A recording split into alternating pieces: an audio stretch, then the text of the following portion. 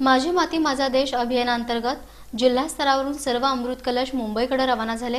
जिल्हाधिकारी कुमार आशीर्वाद यांनी अमृत कलश घेऊन जाणाऱ्या वाहनाला हिरवा झेंडा दाखवला. स्वातंत्र्याच्या अमृत महोत्सवी सांगता सोहळ्यानिमित्त राज्यात मेरी माती मेरा देश अर्थात माझी माती माझा देश हे अभियान सुरू आहे. या अभियानांतर्गत जिल्हा परिषदेअंतर्गत अकरा पंचायत समितीचे अकरा कलश सोलापूर महानगरपालिकेचा एक कलश आणि जिल्हा नगरपालिका प्रशासनाचा एक कलश.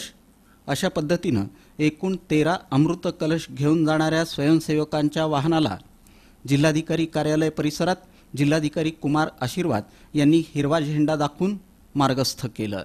यावेळी जिल्हा परिषदेच्या मुख्य कार्यकारी अधिकारी मनीषा आव्हाळे अतिरिक्त पोलीस अधीक्षक हिम्मत जाधव निवासी उपजिल्हाधिकारी दादासाहेब कांबळे उपमुख्य कार्यकारी अधिकारी ग्रामपंचायत इशादीन शेळकंदे यांच्यासह अन्य मान्यवर आणि नेहरू युवा केंद्राचे स्वयंसेवक उपस्थित होते. हे सर्व कलश नेहरू युवा केंद्राचे स्वयंसेवक सत्तावीस ऑक्टोबर रोजी मुंबईतील ऑगस्ट क्रांती मैदान इथं.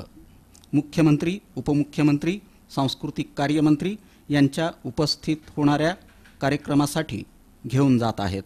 त्यानंतर अंतिम सोहळा एक नोव्हेंबर रोजी नवी दिल्ली येथील कर्तव्यपथावर पंतप्रधान नरेंद्र मोदी यांच्या उपस्थितीत होणार आहे.